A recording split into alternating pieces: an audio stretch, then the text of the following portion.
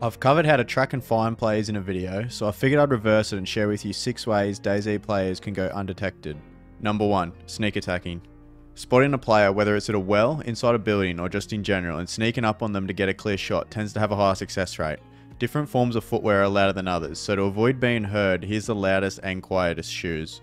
Boots are the loudest, followed by the spawn shoes, and barefoot or the improvised feet wrapping are by far the quietest and allows your character to sprint crouch behind zombies and not get spotted.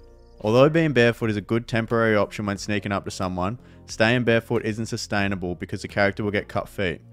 But if you're on grass, you're 5 times less likely to bleed in comparison to the road or concrete. You won't bleed with the improvised feet wrapping, which is craftable with two rags, but the shoes degrade twice as fast as the athletic shoes and 4 times faster than boots. For the cheap cost of two rags to craft, I don't think that will be a problem though. Sneak attack and zombies is also another stealth way if players nearby, because it prevents zombies from making the loud aggro sound which is heard from a fair distance. Number 2. Burying bodies. You can bury dead zombies and players with a shovel or pickaxe which removes any evidence of a kill.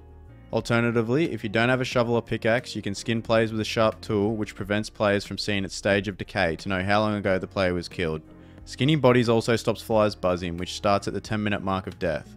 Another option is to just kill zombies in remote spots like bushes where other players passing through won't find them.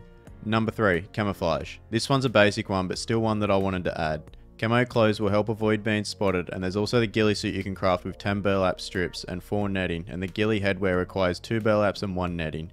Not many people use this ghillie suit anymore as it takes so long to get all the materials and on a lot of modded servers there's an option to turn the camo net into a ghillie suit with a sharp tool. Number 4. Fires. Lit fires are an easy way for other players to find you with smoke coming out of the chimney if it's in a house, or the bright light it creates it's a beacon at night.